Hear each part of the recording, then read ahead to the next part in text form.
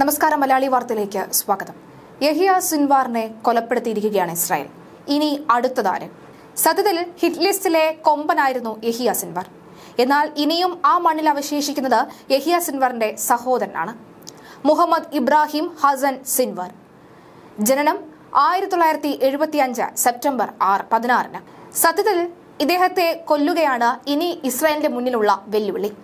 Gaza മുനമ്പിൽ പ്രവർത്തിക്കുന്ന ഹമാസിന്റെ സൈനിക വിഭാഗമായ ഇസ്രേദീൻ അൽ അക്സാം ബ്രിഗേഡ്സിന്റെ തലവനായ ഒരു ഫലസ്തീൻ തീവ്രവാദിയാണ് ഇയാൾ. ഇയാളുടെ സഹോദരൻ ഗസ മുനമ്പിലെ ഹമാസ് ഗവൺമെന്റിന്റെ തലവനും അതിന്റെ പൊളിറ്റിക്കൽ ബ്യൂറോയുടെ ചെയർമാനുമായിരുന്നു യഹിയ സിൻവാർ. യഹിയ സിൻവാറിന്റെ സഹോദരനെ കുറിച്ച് പറയുകയാണെങ്കിൽ യഹിയ സിൻവാറിനെ പോലെ തന്നെ അത്രയും ക്രൂരൻ കൂടിയായിരുന്നു ഈ യഹിയ സിൻവാറിന്റെ അനിയൻ മുഹമ്മദ് സിൻവാർ എന്ന് പറയുന്നത്. യഹിയ സിൻവാറിന്റെ ക്രൂരതകൾ ഗാസയിലും ഇസ്രയേലിലും ഇതിനു മുൻപും പലതരത്തിലും കേൾട്ടുകേൾവിയുള്ളതാണ് മൂന്ന് ഫലസ്തീനെ അതിക്രൂരമായി കൊലപ്പെടുത്തിയ എഹിയ സിൻവാറിന്റെ ചരിത്രം ഇന്ന് ലോകമെമ്പാടും കേട്ടുകൊണ്ടിരിക്കുകയാണ്. മുഹമ്മദ് എഹിയ സിൻവാറിനെ കുറിച്ച് പലതരത്തിലുള്ള വാർത്തകൾ ഇതിനു മുൻപും വന്നിട്ടുണ്ട്. പക്ഷേ മുഹമ്മദ് എഹിയ സിൻവാർ എവിടെയാണ് എന്ന് ഇതുവരെയും ആർക്കും അറിയില്ല. മുഹമ്മദ് എഹിയ സിൻവാർ എന്ന ഹമാസിന്റെ കൂട്ടാളികൾ മാത്രമാണ് അദ്ദേഹത്തെ വിളിച്ചുകൊണ്ടിരുന്നത്. എന്നാൽ മുഹമ്മദ് സിൻവാർ എന്ന മുഹമ്മദ് ഹസൻ സിൻവാർ എന്താണ് യഥാർത്ഥ പേര് എന്ന് പറയുന്നത്? യഹിയ സിൻവാറിന്റെ ക്രൂരതകൾ പ്രധാനമായും വല്ല എടുത്തു പറയേണ്ടതാണ്.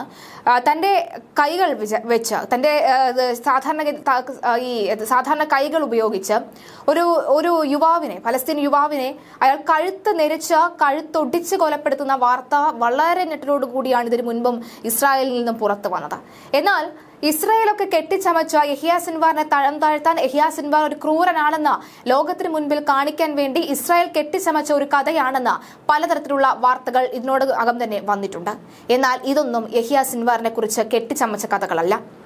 യഹിയ സിൻവാർ സത്യത്തിൽ പെട്ടുപോകുന്ന കാഴ്ചയാണ് കണ്ടത്. ഈ ഗസയിലെ റഫയ്ക്ക് റഫയിലെ ഒരു ബിൽഡിങ്ങിനകത്ത് ഏകദേശം ഒരു പതിനാല് കിലോമീറ്റർ അപ്പുറം ഇസ്രായേലിന്റെ സൈനിക താവളം ഉണ്ടായിരുന്നു സൈനിക ബേസ് ഉണ്ടായിരുന്നു.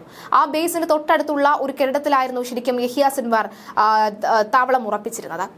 യഹ്യാ സിൻവാറിന്റെ ചുറ്റും ബന്ദികളാണെന്നും മനുഷ്യ കവചമുണ്ട് എന്നും പലരും പറഞ്ഞിരുന്നുവെങ്കിൽ അങ്ങനെയൊന്നുമല്ല അവസാന നിലയിൽ അയാളെ കണ്ടെത്തിയത്. സത്യത്തിൽ ഈജിപ്തിലേക്ക് പോകണോ? ഈജി- ഈജിപ്തിലേക്ക് എന്തായാലും അവരെ സ്വീകരി യഹിയ സിൻവാറിനെ സ്വീകരിക്കില്ല എന്ന് യഹിയക്ക് നന്നായി അറിയാം.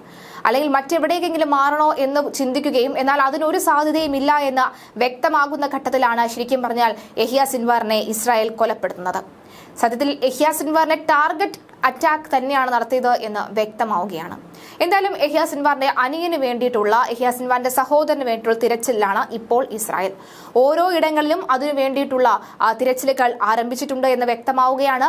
ബന്ദികൾ ഒരുപക്ഷെ ഇയാളുടെ പക്കലായിരിക്കാമെന്ന വിവരവും ലഭിച്ചിട്ടുണ്ട്.